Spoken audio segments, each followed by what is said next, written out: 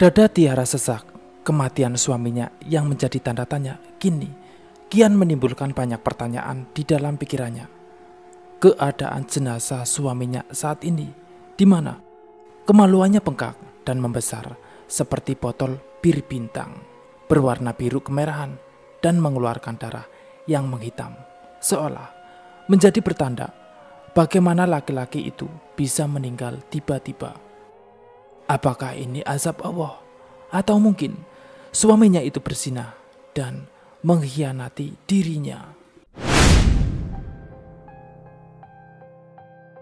Assalamualaikum warahmatullahi wabarakatuh. Selamat datang di channel Brisor. Untuk kali ini ada sebuah cerita dari tulisan Dewi Jambi berjudul Mandiin Mayit. Seperti apa kisahnya? Langsung saja kita masuk ke ceritanya. Simak hanya di channel Bris Horror. Aku lalu cepat-cepat menyelesaikan mandi menyabuni tubuhku karena hawa kamar mandi yang tiba-tiba tidak enak seperti biasanya. Apa karena aku sedang ketakutan? Tak ingin menunggu lama, setelah kurasa tubuh ini bersih, aku langsung membuka pintu dan melongok keluar, meraih handuk yang tadi ibu sampirkan di luar. Mengganti basahan dengan handuk dan berlari begitu saja masuk ke dalam rumah. Hampir saja aku terpleset saat menapaki lantai semen rumah. Dan itu tertangkap di mata ibu. Kenapa Tonong? Jangan gerusa-gerusu, ntar jatuh. Ku dengar suara lantang ibu dan langsung menghentikan langkah kaki. Aku menatap ke arahnya. Ibu langsung tertegun dan susah payah. Orang tua renta itu berdiri dan melangkah ke arahku yang saat ini tersengal-sengal. Nung, kamu kenapa, Nung? Ibu mendekat dengan raut wajah yang khawatir. Aku menggigit bibir, ingin jujur, tapi takut ibu khawatir. Bisa saja, tadi itu hanyalah halusinasiku belaka. Tidak apa-apa, Bu, bohongku. Kamu tidak usah bohong. Ibu tahu, Nung. Ibu menatapku dalam dan matanya bergerak ke kiri dan ke kanan seperti mencari sesuatu. Ada sesuatu yang tidak biasanya. Decik ibu seranya menepuk bahuku dan mencengkeram lenganku. Tatapan ibu tajam menyoroti kedua mataku. Kamu harus hati-hati. Tidak usah takut. Jujur saja sama ibu. Lagi-lagi ibu seperti tahu apa yang ada di pikiranku. Aku meneguk Saliva berusaha tenang agar ibu tidak curiga. Meski sulit rasanya.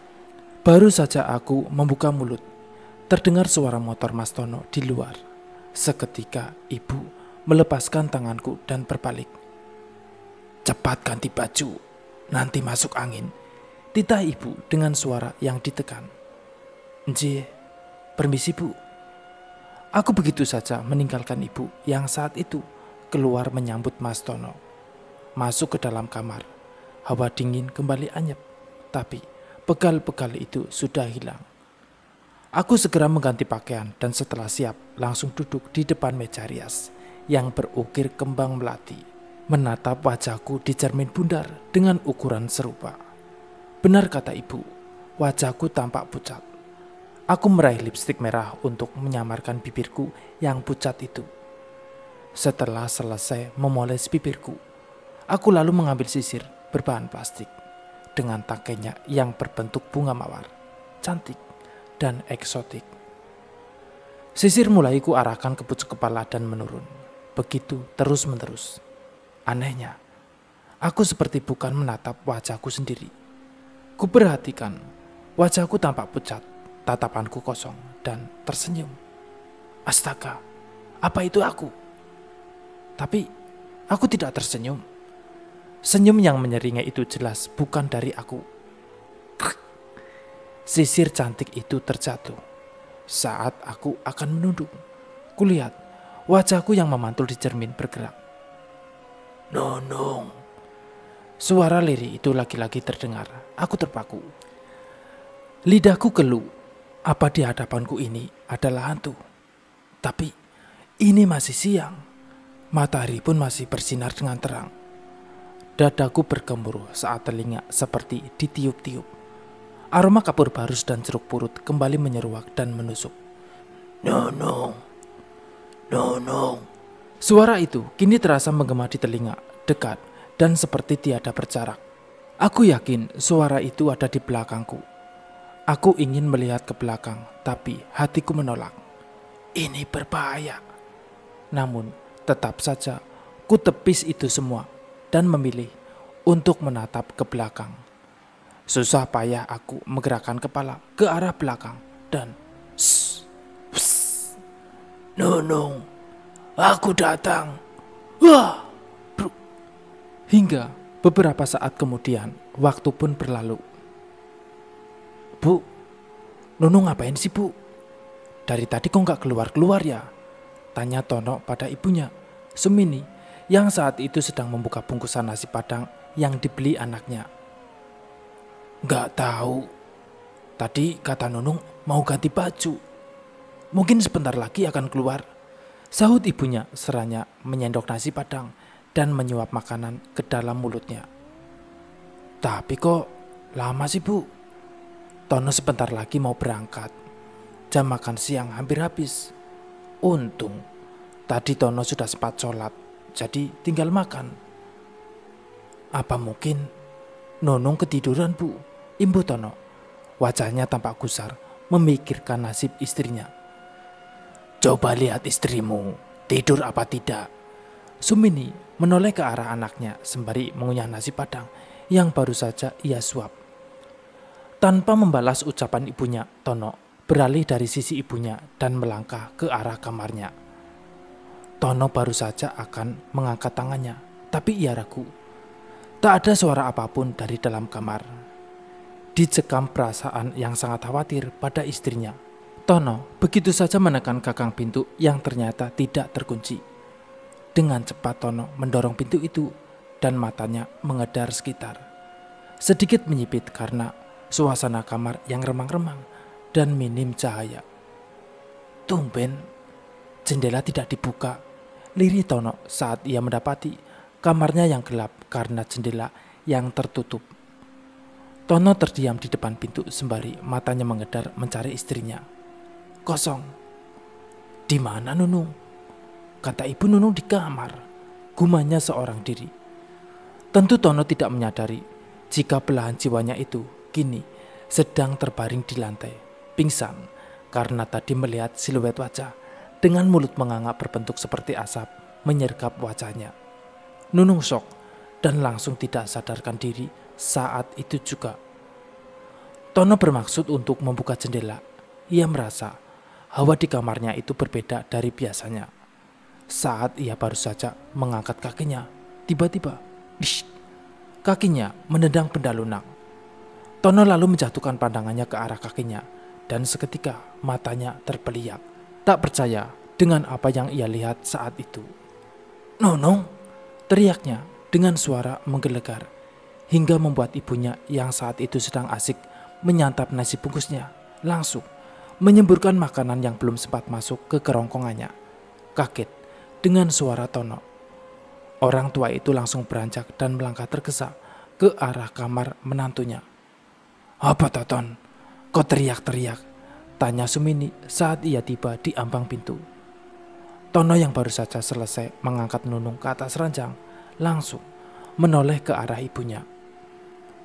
Nunung pingsan bu, padahal tadi pagi sehat. Ini juga badannya nggak panas, keluh Tono. Ia memindai tatapannya ke wajah Nunung, khawatir. Tangannya memijit-mijit pergelangan tangan istrinya, berharap istrinya itu segera bangun. Sumini tak lantas menjawab matanya mengitari sekitar ruangan dan menggeram. Keluar. Sudah ditolong malah buat rusuh. Ucapannya dengan suara bergetar dan tangan yang menunjuk ke arah sudut. Bu, jantung Tono bergemuruh saat mendengar suara ibunya. Ia menatap nanar ibunya yang saat itu berdiri dengan kaya menantang, menatap ke arah sudut kamarnya. Diam kamu, ini urusan ibu Ton. Mata Sumini tak sekalipun mengercap. Dadanya bergemuruh kencang, menatap Sosok tak kasat mata yang kini menempel di langit-langit sudut kamar anaknya. Makhluk telanjang dengan tangan dan kaki menempel di langit-langit itu menyeringai, menunjukkan bagian kewanitaannya yang mengucurkan darah. Matanya menatap tajam ke arah Sumini dengan mulut yang menganga lebar. Aku nggak mau pergi.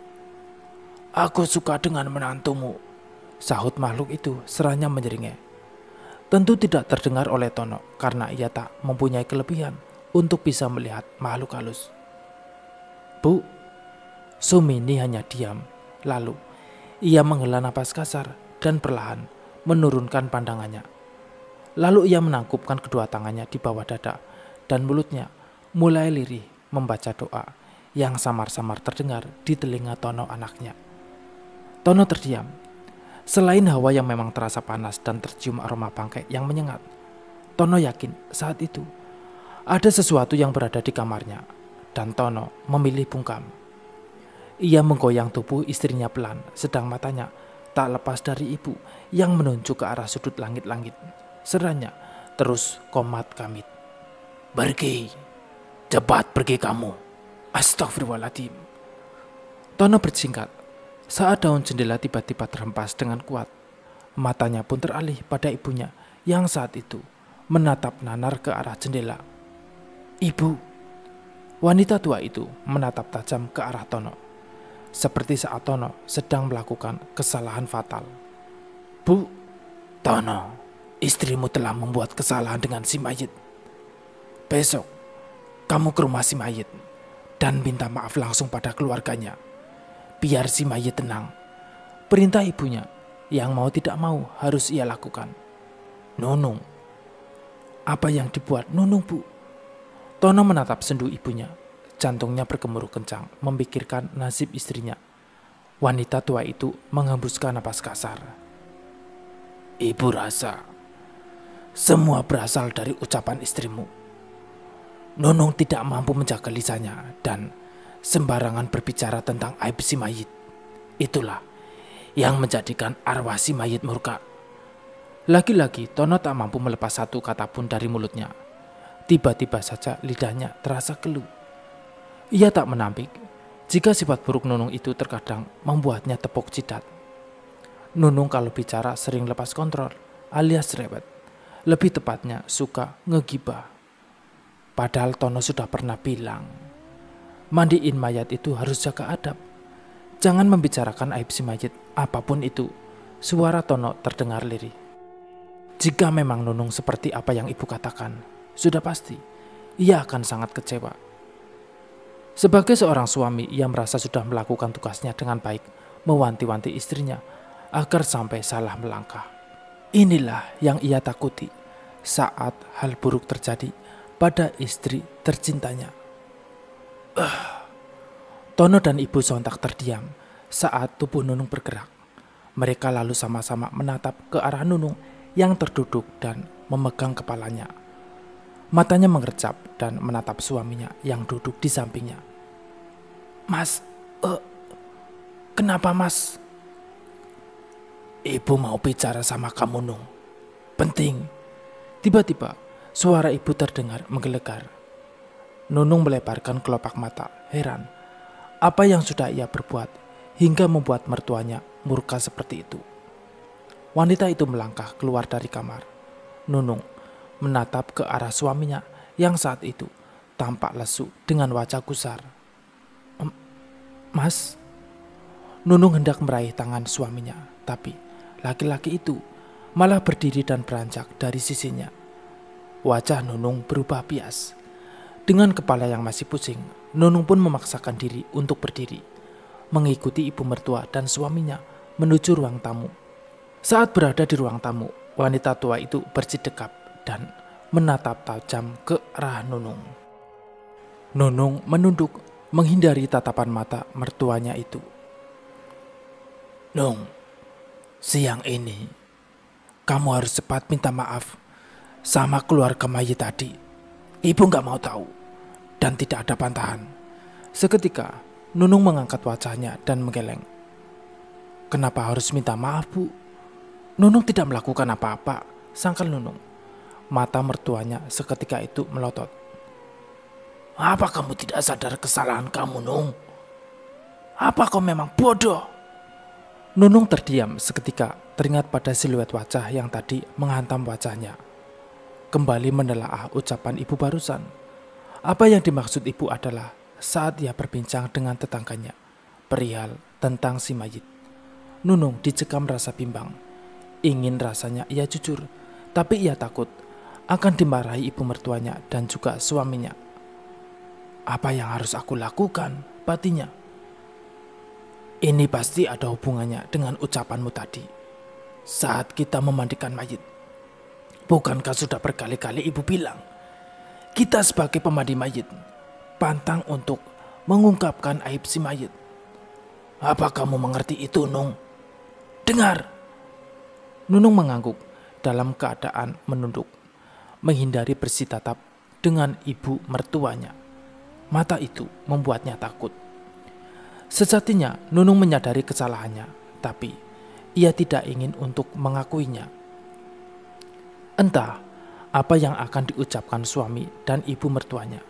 Jika tahu kalau Nunung pun membicarakan aib si mayit dengan tetangganya. Nunung, Nunung mengerti bu. Nunung minta maaf. Lirih Nunung nyaris tidak terdengar. Tono memandang istrinya Iba, ia pun tak menyalahkan Nunung sepenuhnya. Mungkin saat itu Nunung sedang hilaf atau memang sedang lupa. Maklumlah, manusia itu tempatnya salah dan Nunung tidak luput dari kesalahan.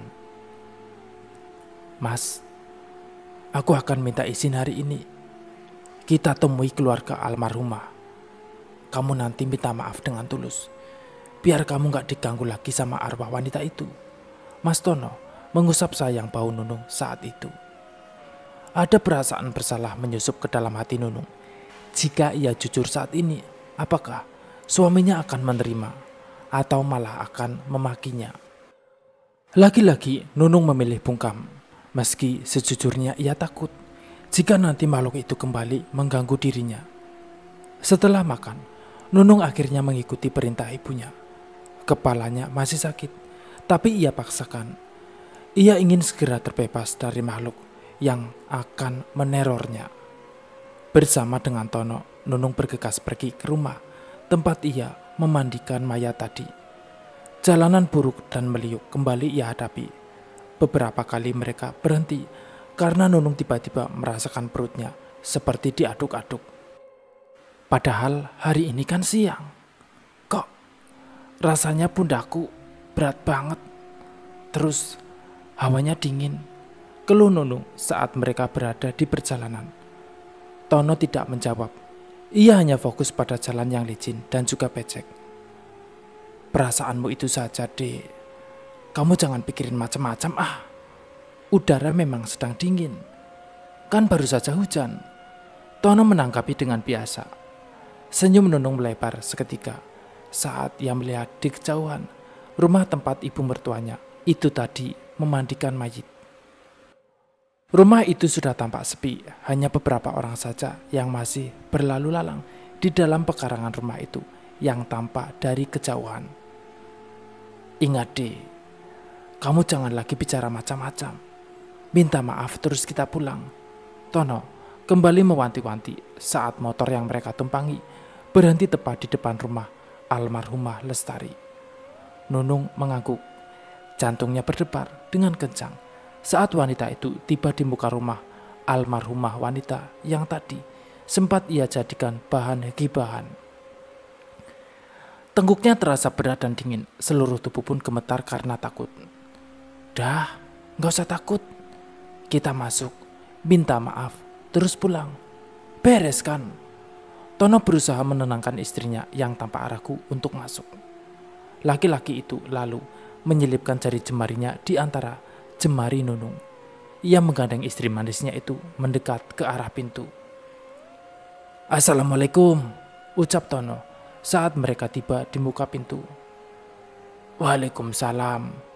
Dengan cepat, mereka mendapatkan respon karena rumah itu masih ada beberapa orang yang sedang berberes.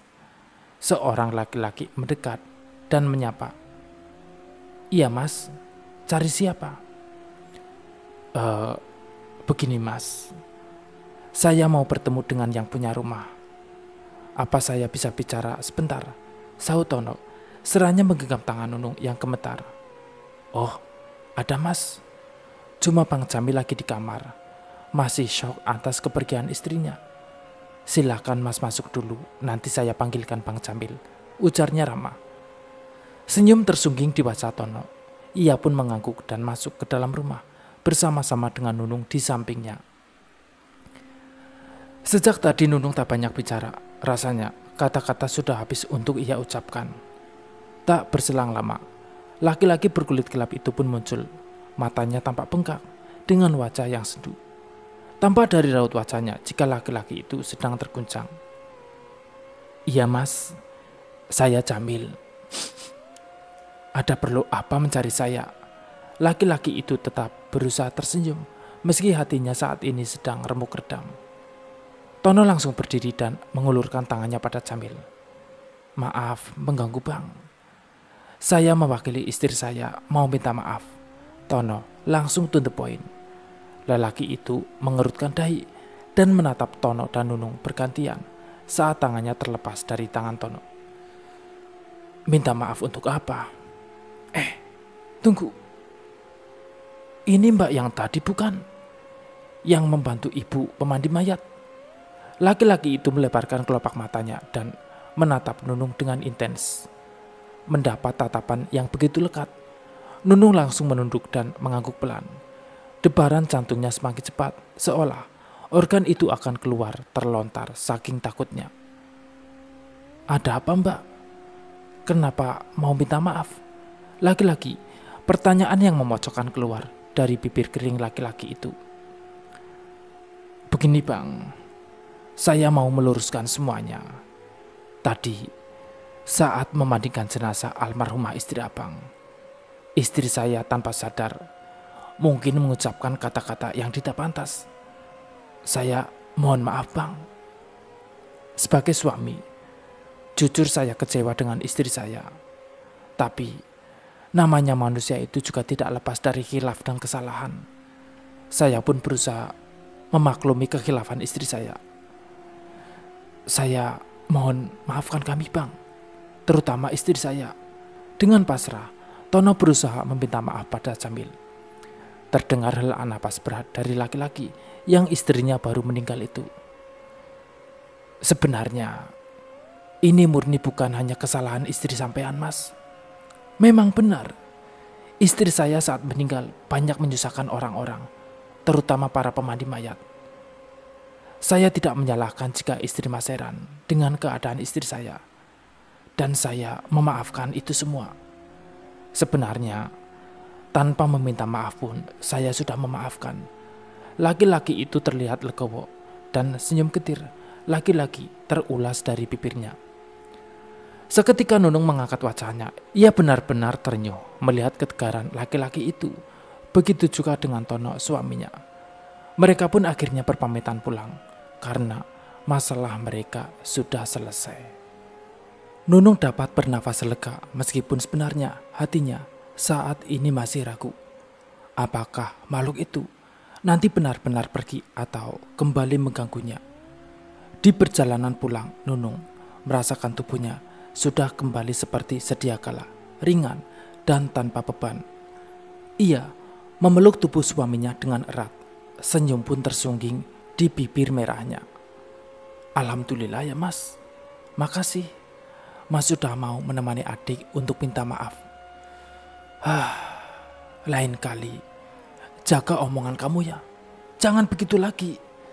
Iya mas, janji.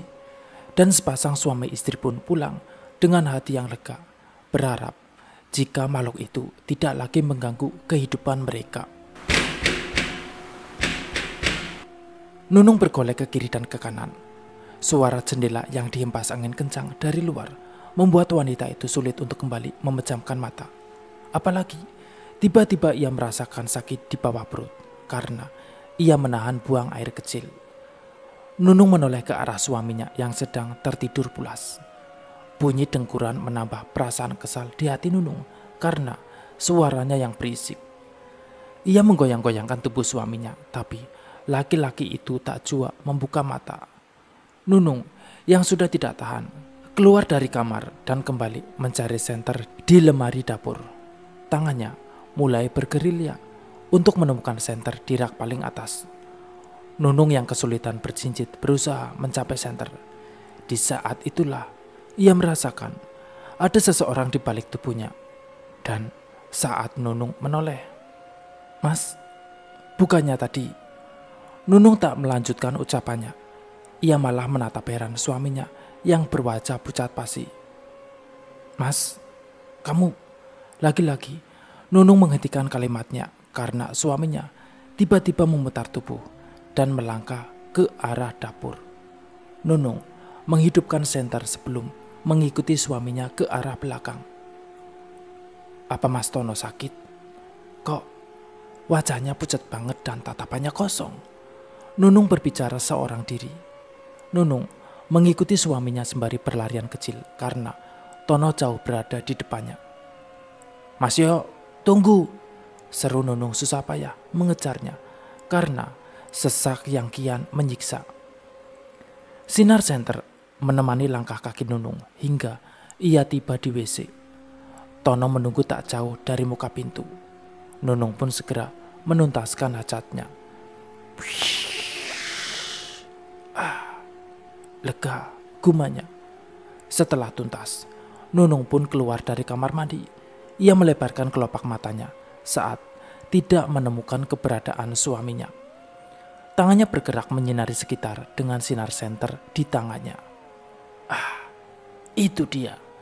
Jerit Nunung senang saat mendapati suaminya berdiri tak jauh dari tempatnya di bawah pohon durian.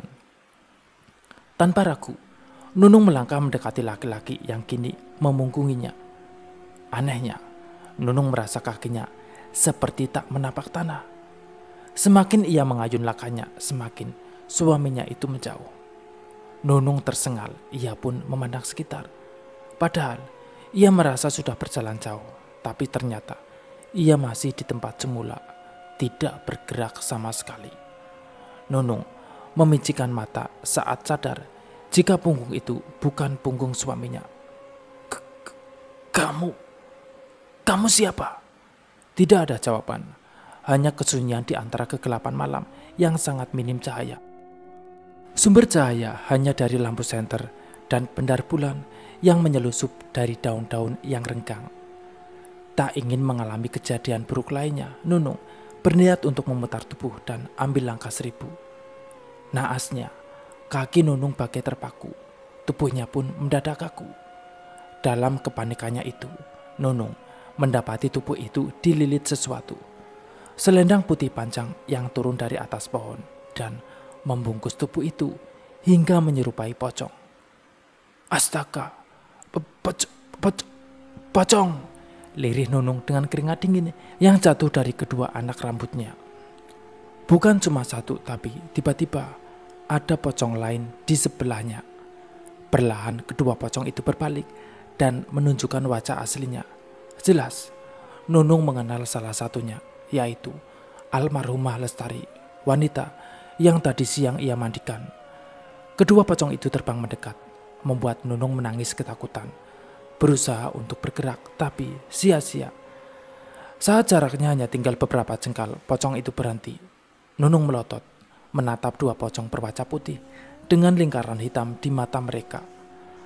Aroma jeruk puru dan kapur barus pun seketika menyeruak. Bau mayit yang kental. Ingin Nunung berteriak, tapi suara itu bagai tercekat. Ingin memejamkan mata, tapi ia tidak bisa. Wajah yang awalnya mulus perlahan hancur, mengeluarkan darah dan asap. Tiba-tiba muncul dari dalam kain kafan itu. Tolong, tolong kami, tolong.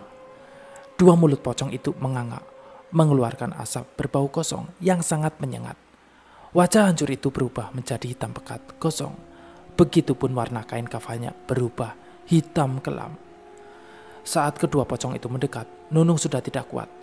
Tubuhnya langsung lemas dan ambruk di tempat.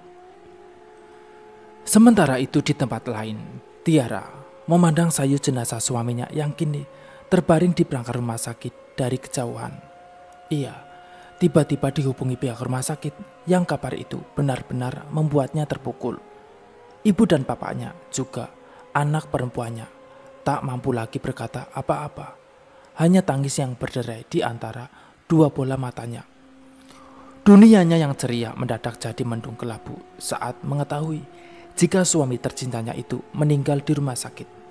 Sayangnya, tak ada keterangan apa pun dari pihak rumah sakit. Orang-orang di rumah sakit seolah menutupi apa penyebab suaminya itu meninggal. Jenazah suaminya pun dibawa pulang dengan menyimpan seribu tanya di pikirannya. Jenazah suaminya tiba di rumah duka disambut isak tangis keluarganya. Sedang Tiara hanya menatap sendu dan tidak berkata apa-apa. Hatinya hancur lebur. Padahal Tadi pagi suaminya itu baik-baik saja. Apakah Mbak Tiara mau ikut dalam proses pemandian jenazah? Kami akan segera memandikan mayat itu. Seseorang tiba-tiba mendekati Tiara yang saat itu duduk menyandar di rumahnya. Tiara mengusap air matanya yang saat itu menggenangi pipinya dan mengangguk pelan. Perlahan Tiara bangkit dan melangkah dengan tubuh yang terhuyung karena lemas. Tanpa basa-basi, ia langsung mengikuti laki-laki itu masuk ke dalam ruangan yang terbuat dari kain panjang yang saling terikat. Suasana sontak hening saat wanita itu masuk ke dalam. Tiara semakin heran kala orang-orang itu langsung menatap ke arahnya. Tanya itu pun akhirnya terjawab saat orang-orang itu menyingkir dan memberikan tempat baginya untuk bisa melihat dengan jelas suaminya. Seketika, Kelopak mata Tiara melebar, tak percaya dengan apa yang ia lihat. Apakah ini nyata atau mimpi semata? Laki-laki yang terbujur kaku itu tampak pucat, tapi kain yang menutupi bagian tubuh laki-laki itu menunjukkan satu keanehan. Alat kelamin yang ditutupi kain itu terlihat berdiri tegak. Tentu saja itu bukan hal yang lumrah, mengingat laki-laki itu sudah meninggal dunia. Bolehkah saya melihat, Pak?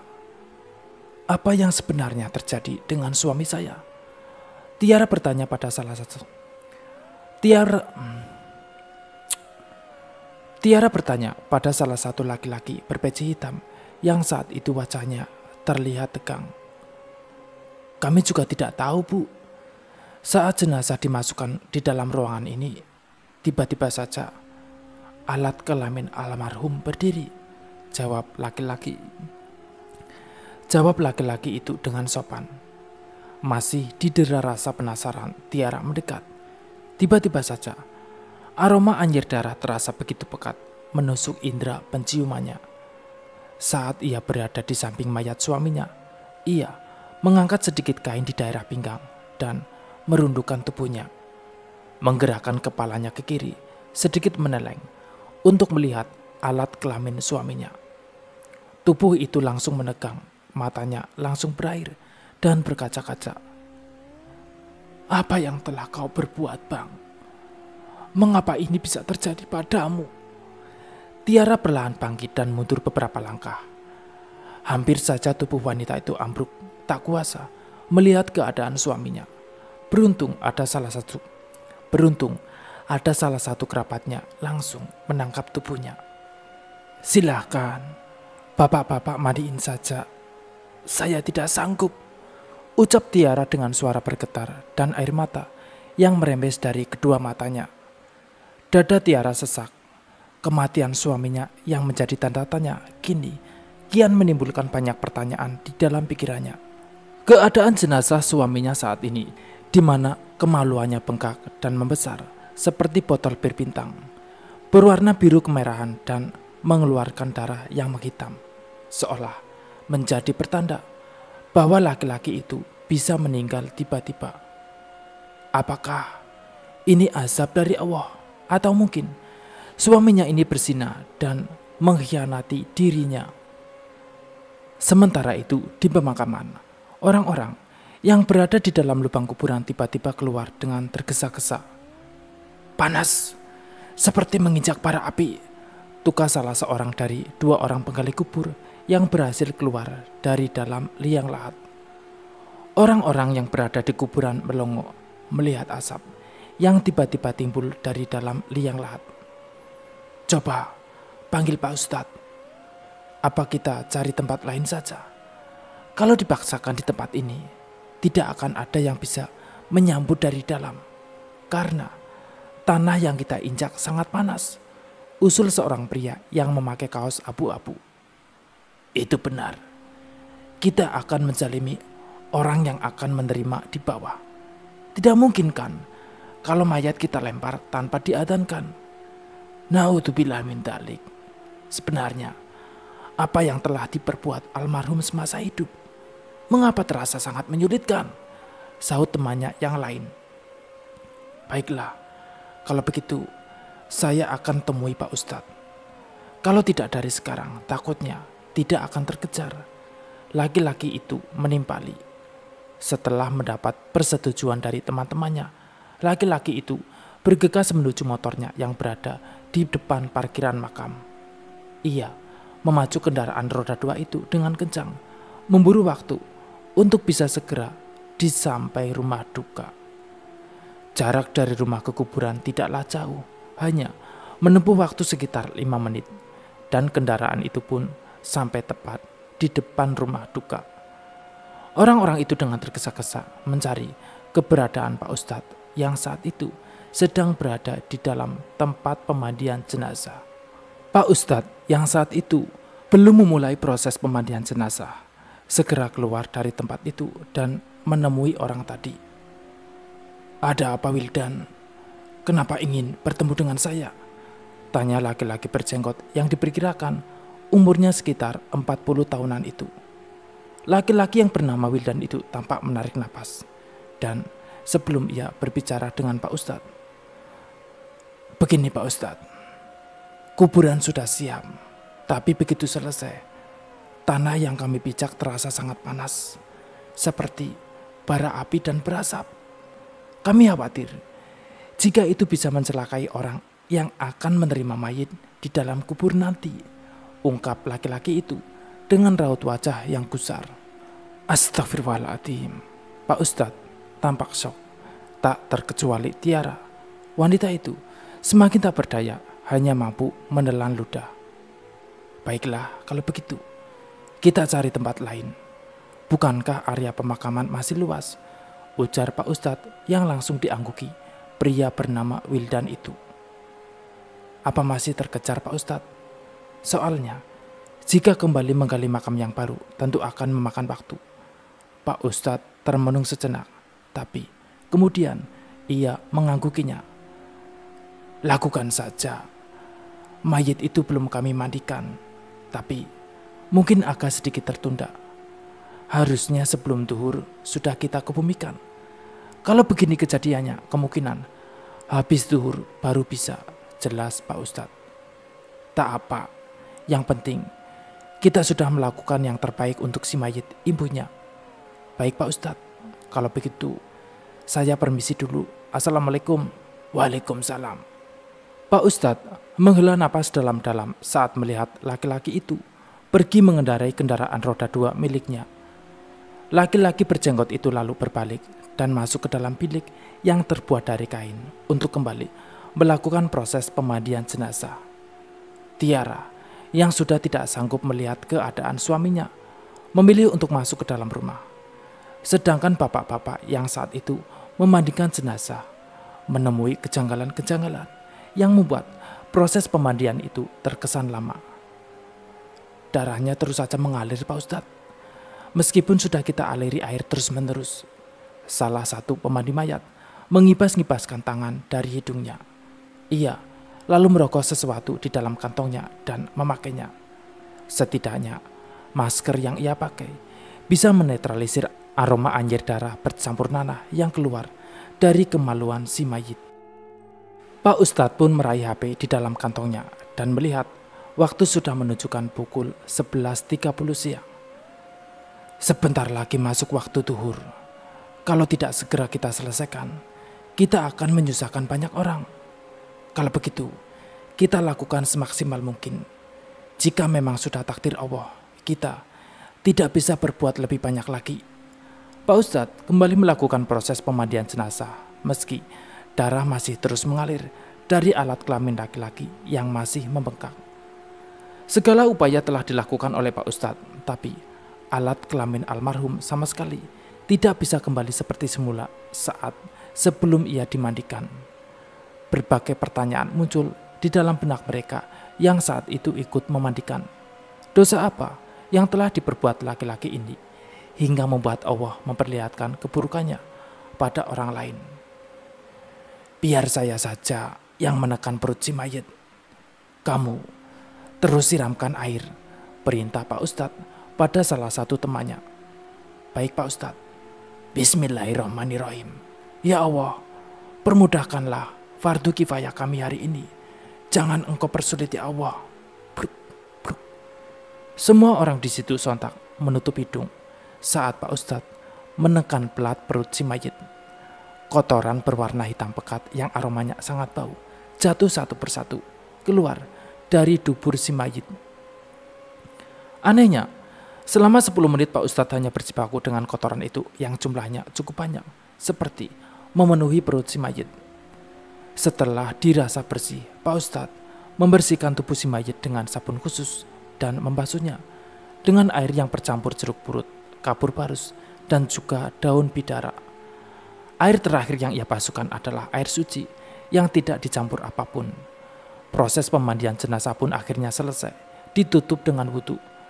Meski darah masih terus keluar dari kemaluan si mayit.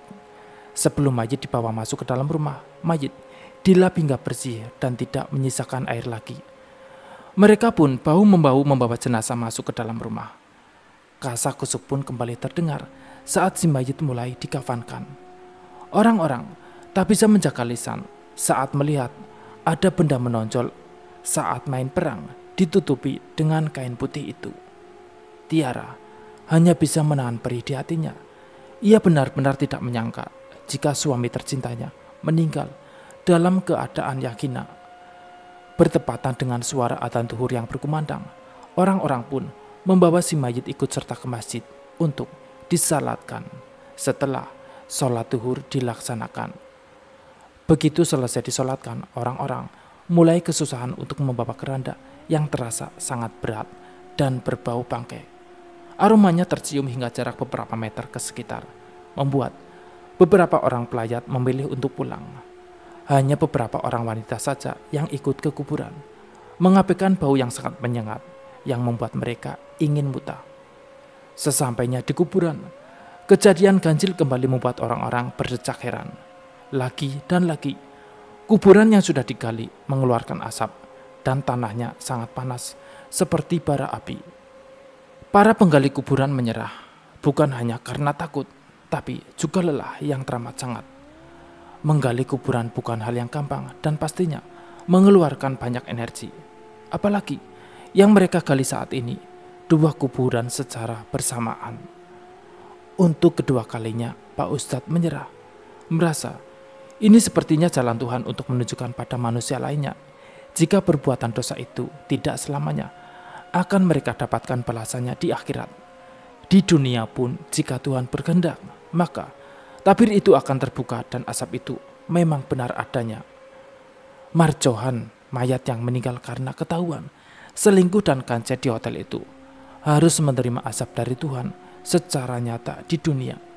Iya, meskipun operasi awalnya berhasil, tapi Tuhan berkehendak lain dan menginginkan ia meninggal saat itu juga. Marjohan menghembuskan napas terakhirnya setelah kematian Lestari wanita selingkuhannya. Dengan terpaksa, Marjohan diturunkan begitu saja, ditutupi dengan papan, dilempar-lempar dari atas karena orang-orang tidak bisa turun ke bawah. Itu terlalu membahayakan. Setelah proses penguburan yang sulit itu selesai, Pak Ustadz membacakan doa. Orang-orang pun mengucap Alhamdulillah dan satu persatu meninggalkan area pekuburan. Baru saja tujuh langkah mereka meninggalkan kuburan Marjohan. Tiba-tiba terdengar suara ledakan dari arah kuburan Marjohan. Tiara yang saat itu baru saja membalikkan tubuh langsung terpaku. Ia lalu melangkah dan mendapati kuburan suaminya berasap. Sontak, semua orang yang berada di sana langsung melangkah ke arah kuburan dan menatap kuburan marcohan yang retak dan mengeluarkan asap. Astagfirullah, seru orang-orang itu secara bersamaan. Mereka menatap nanar, tak ada yang berucap. Semua orang larut dalam pikiran masing-masing. Tiara hanya mampu menangis, dibantu dengan keluarganya. Tiara pun pulang kembali ke rumah bersama warga yang mengantarkan jenazah suaminya. Kepergian Marcohan menjadi pelajaran bagi orang-orang lain yang melihatnya. Entah apa yang terjadi di bawah sana. Orang-orang hanya melihat kuburan yang retak dan juga asap, tapi tentu tidak tahu apa yang terjadi sebenarnya di dalam sana. Tiara merasa langkahnya semakin berat. Jika bisa, ia ingin berada di samping kuburan suaminya yang sudah terkubur di bawah sana. Serasa separuh nyawanya melayang. Kaki serasa tak menapak di tanah yang ia pijak. Pikirannya membumbung. Bagaimana ia bisa melalui hari-hari tanpa suaminya? Sabar Tiara. Ini mungkin juga sudah menjadi jalan suamimu. Terus semangat ya. Tiara, ingat anakmu. Saudara yang saat itu membantu menopang tubuhnya berusaha untuk menenangkan hati Tiara dan yang masih terisak. Aku tak tahu harus apa. Kematian Mas Marjohan membuatku berspekulasi buruk tentangnya. Sebenarnya, apa yang sudah suamiku lakukan? Tiara menghentikan langkah dan menatap sendu saudaranya yang saat itu berada di sampingnya.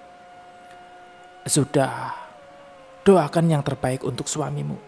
Mudah-mudahan dia tenang di alamnya. Dan kamu lanjutkanlah hidupmu. Jangan buat dirimu berlarut dalam kesedihan. Kamu bisa Tiara, ingat anakmu. Tiara terdiam mendengar perkataan saudaranya itu. Ia pun tersadar bahwa sejatinya di dunia ini ia tidak sendiri. Wanita beranak satu itu menghela napas dalam dan mengangguk pelan. Ia pun akhirnya kembali pulang bersama dengan warga lainnya. Berusaha sekuat tenaga untuk melupakan peri yang saat ini sedang berkecamuk di dalam hatinya. Ia ingin menapaki hidup dan menatanya kembali bersama anaknya. Pelita hidup satu-satunya yang ia punya. Sementara itu di tempat lain, Tono yang saat itu sedang tertidur pulas tiba-tiba tersentak. Ia seperti mendengar suara teriakan istrinya. Laki-laki bertubuh sedang itu mengerjapkan matanya dan menatap ke samping, di mana tadi istrinya tidur di sebelahnya. Nong, Nonong, panggilnya saat mendapati istrinya sudah tidak ada di sampingnya. Sontak, Tono langsung bangkit dan matanya menatap ke sekitar. Istrinya memang tidak berada di ruangan kamarnya. Perasaan yang tiba-tiba tidak enak, merasa ada yang tidak beres, langsung bergeser ke ujung ranjang dan berdiri. Tak ingin membuang waktu, Tono pun mencari istrinya keluar dari kamar. Mencari ke ruang tamu tidak ada, ruang keluarga tidak ada, dan di dapur pun tidak ada. Kamu ke mana Nung? Ia berujar pada dirinya sendiri, frustasi mencari istrinya yang tak kunjung ia temukan. Apa mungkin ia ke toilet? Ibunya Serasa mengangkat kakinya dan melangkah menuju pintu dapur untuk mencari keberadaan istrinya di luar. Seperti dugaannya tadi, pintu belakang memang tidak terkunci. Itu semakin membuatnya yakin jika saat itu istrinya tidak berada di dalam rumah, melainkan di luar. Srk, srk, srk. Tono menyurutkan niatnya untuk keluar rumah saat mendengar suara seperti langkah kaki yang diseret. Ia terpaku meneguk ludahnya. Jantungnya berdetak lebih kencang dari biasanya. Pikirannya membumbung ke udara. Apakah itu makhluk halus atau malah?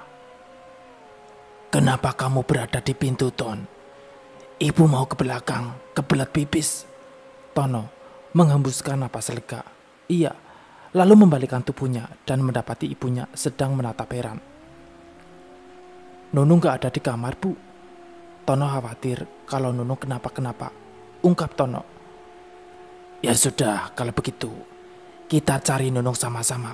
Mungkin dia lagi ke toilet. Mudah-mudahan Nunung tidak kenapa-kenapa. Kamu jangan banyak pikiran. Ibunya lantas menepuk bau Tono dan mengajaknya untuk mencari Nunung keluar. Ibu nggak bawa senter? Tanya Tono pada ibunya. Oh iya, senter tirak nakas itu. Ibunya menunjuk lemari berwarna coklat. Tono mengangguk dan beralih ke arah lemari. Ia membuka lemari itu dan tangannya mulai mencari-cari di mana keberadaan senter. Gak ada bu, lapar Tono serahnya, melesatkan pandangan ke arah ibunya. Mungkin dibawa sama Nunung. Udah, pakai lampu teplok aja. Ibunya pun lalu melangkah ke arah dinding, di mana lampu templok itu sedang tergantung. Ia meraih lampu itu dan melangkah menuju rak untuk mengambil kotak koset. Koset kayu itu mulai mengeluarkan api dan api itu pun menjadi cahaya penerang di lampu teplok. Ayo Ton, kita lihat Nunung sama-sama. Di luar pun sepertinya hari sudah mau turun hujan. Anginnya kencang, seru ibunya. Lampu templok ia genggam di tangan kiri dan bersiap keluar. Tono mengangguk dan membuka pintu. Ia dan ibunya berjalan beriringan. Angin di luar cukup kencang, menyibak rambut Tono yang lurus sambil berjalan menuju toilet yang jaraknya cukup jauh dari rumah. Mata Tono mengedar ke segala arah mencari keberadaan istrinya. Sesekali, mata bulat itu menyipit kala angin yang cukup kencang menerpa wajahnya. Seketika, dadanya bergemuruh kencang saat matanya tertumpu pada sebuah objek. Bu, coba lihat. Itu, itu Nunung, pekik Tono Wanita tua itu menoleh ke arah telunjuk Tono, di mana ada seberkas cahaya yang keluar dari lampu senter yang teronggok di tanah. Tono berlari begitu saja di tengah kegelapan. Desir angin dan gemerisik dedaunan tak membuat nyali Tono siut. Meski dingin, begitu saja membekap tubuh kurusnya, tak menyurutkan sedikit langkahnya. Nonong! Tono langsung menekuk dua kakinya dan meraih bau istrinya yang terbaring di tanah. Nonong. Berkali-kali Tono menepuk wajah pelan istrinya, tapi wanita itu tak jua meresponnya. Ada apa dengan Nonong Ton? Pingsan, tanya ibunya saat ia sudah mendekat di sisi Tono. Enje bu, Tono bawa masuk dulu ya si Nunung. Ya Allah, iya Ton, ayo cepat, bawa istrimu masuk. Tono lalu mengangkat istrinya terkopoh-kopoh membawa tubuh motok itu masuk ke dalam rumah. Tubuh Nunung diletakkan di atas ranjang, tapi wanita itu tak juga sadar. Nung, Nung, sadar Nung. Tono lalu meniupkan doa di atas air dan memercikan air itu tepat di wajah istrinya. Dan, uh, uh, aku, aku di mana? Nunung bermonolog, matanya mengerjap berkali-kali. Pandangannya lalu menyusur sekitar. Gelap hanya gelap yang begitu pekat yang ia rasakan. Namun, tempat itu terdengar sangat berisik. Nunung mempertajam pendengarannya. Tolong, tolong, tolong kami. Nunung mengangkat tangannya dan menyentuh dada. Di mana aku sekarang? Tanyanya pada diri sendiri. Shh. Hawa panas tiba-tiba menyergapnya. Cahaya merah membuat Nunung menyipitkan matanya Perlahan, ia membuka mata dan mendapati banyak orang yang telanjang dicambuk dan disiksa. Darah muncrat dan ceritangis kesakitan membahana. Nunung menatap nanar pemandangan mengerikan yang tersaji di depan matanya. Tap, Nunung tercingkat saat ada sesuatu seperti menyentuh bahunya. Nunung perlahan menggerakkan kepalanya dan saat itu juga matanya membesar Tolong, selamatkan kami, tolong. Les, lestari, lirih Nunung saat mengetahui wajah wanita yang saat itu menyentuh baunya. Wanita itu tersenyum ketir bersama seseorang di sampingnya yang tidak Nunung kenal. Iya, aku Lestari. Wanita yang tak memakai selembar benang pun itu menatap sedih Nunung yang terpaku, menatap dua orang itu tanpa berkedip sedikit pun. Uh, Aku, aku di mana? Kena, kenapa ada kamu? Bukankah kamu sudah meninggal? Uh, apa aku? Nunung tak mampu lagi meneruskan kata-katanya. Matanya kembali menatap sekitar saat jeris tangis kembali menggema dan membuatnya ketakutan.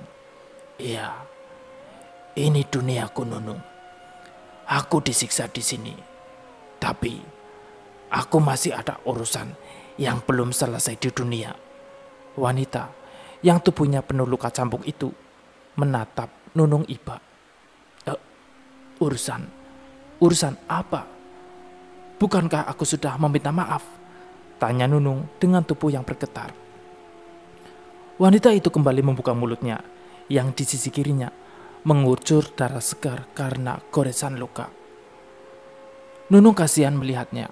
Begitupun laki-laki yang di sampingnya yang tampak kesakitan dan selalu memegangi alat kelamin yang membesar dan mengeluarkan darah. Tolong, sampaikan permintaan maafku pada suamiku.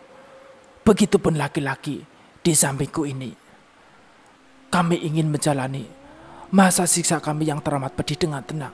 Tolong, hanya kamu yang bisa membantu kami. Setelah semua usai, kami akan kembali dan tidak akan mengganggu lagi. Ujar wanita itu mengiba belum lagi Nunung menjawab, iya, seperti mendengar suara suaminya yang memanggil lirih namanya. Nunung, Nunung, kembalilah kamu Nunung. Suamimu sudah memanggil. Wanita itu lalu mendorong Nunung dengan kuat. Anehnya, Nunung tidak merasakan kesakitan. Tubuh Nunung terempas masuk ke lubang yang sangat gelap dan sangat dalam. Oh, ah! teriak Nunung lantang. Ia merasakan ribuan tangan sempat menyentuh tubuhnya, tapi tak ada satupun yang bisa menggapainya. Nunung seperti terjatuh dalam lubang yang sangat dalam, gelap, dan tiada suara. Tiba-tiba, Nunung merasakan tetes-tetes air jatuh di keningnya. Suara suaminya yang memanggil namanya diselingi isakan tangis, membuat Nunung mengerjapkan matanya. Wanita bermata bulat itu menatap suaminya dalam. Dengan wajah bingung, Nunung pun membuka mulutnya. Mas, Mas, kamu kenapa? Tono yang sejak tadi menangis di samping istrinya pun mengangkat wajahnya. Nung, kamu sadar Nung.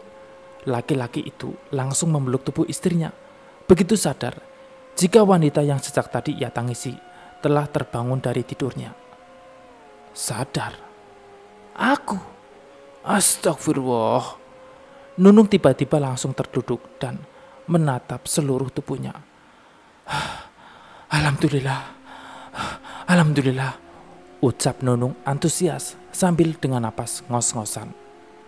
Melihat keanehan sikap Nunung, ibunya Tono yang juga berada di kamar langsung mendekat. Nung, kamu kenapa Nung? Iya Nung, kamu kenapa? Tono dan ibunya bergantian bertanya. Tiba-tiba, jendela di kamar Nunung terempas dan terbuka lebar. Ibunya Tono langsung menatap ke arah jendela dan kelopak matanya melebar seketika. Apa yang kamu mau? Bukankah Nunung sudah minta maaf pada keluargamu? Pekik ibunya Tono lantang. Tono menatap bingung memindai tatapan antara Nunung dan juga ibunya. Nung, kamu mau ke mana? Tono sempat menarik tangan istrinya, tapi wanita itu malah menampik tangannya.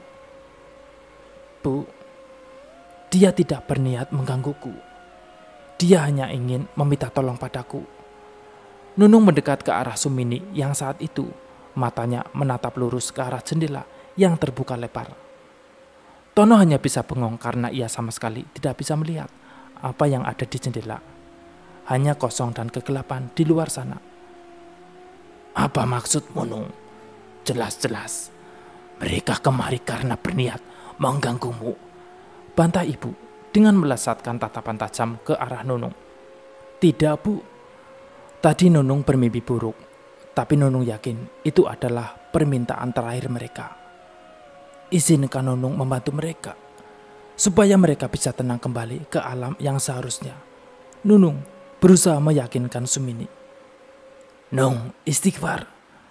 Mereka hanya berusaha memperdaya dirimu. Nunung hanya tersenyum simpul. Rasa takut yang selama ini bergejolak di dalam dadanya, entah kenapa, hilang begitu saja. Nunung begitu semangat untuk membantu kedua makhluk tak kasat mata yang saat itu hanya bisa dilihat oleh Nunung dan juga Sumini. Mereka hanya ingin minta maaf, Bu. Mereka mengakui kesalahan yang telah mereka perbuat, telah membuat sakit hati orang-orang yang telah mencintai mereka dengan tulus dan ikhlas. Sumini akhirnya mengangguk pelan. Ia kembali melesatkan pandangan ke arah makhluk yang saat itu berada tak jauh dari jendela kamar yang terbuka. Kalau kalian memang ingin meminta bantuan Nunung, pergilah saat ini juga. Aku akan mengizinkan Nunung untuk membantu kalian. Tapi janji, setelah Nunung membantu kalian, pergilah dengan damai. Dan jangan pernah mengganggu kehidupan kami lagi. Sumini berucap dengan suara gemetar. Seolah mengerti dengan ucapan Sumini, angin kencang tiba-tiba menerpa wajah orang tua itu. Dan Kedua makhluk halus itu lenyap begitu saja. Benar kan bu? Mereka tidak jahat. Besok Nunung akan pergi ke rumah Lestari. Ucap Nunung, sembari menutup jendela dan menguncinya.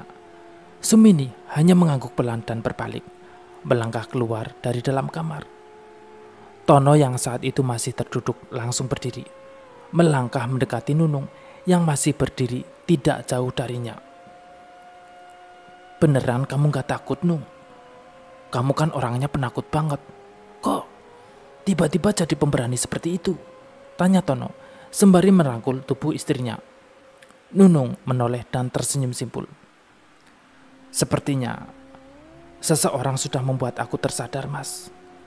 Mulai saat ini, Nunung mau menjadi pemandi jenazah yang amanah dan tidak membicarakan aib mayit pada orang-orang. Tono semakin heran dengan ucapan Nunung yang tiba-tiba, seperti bukan Nunung istrinya.